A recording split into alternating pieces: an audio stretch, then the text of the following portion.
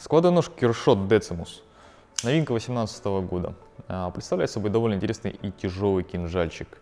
А, на клинке стандартно 8 хром, как у всех бюджетных кершей. На рукоятке сталь 2 хром с интересными текстурированными плашками G10 черного цвета.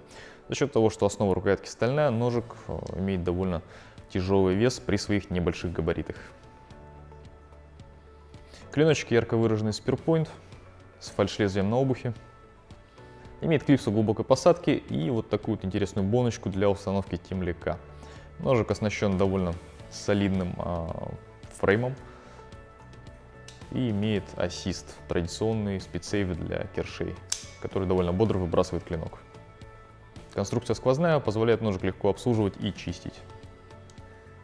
В руке сидит как влитой.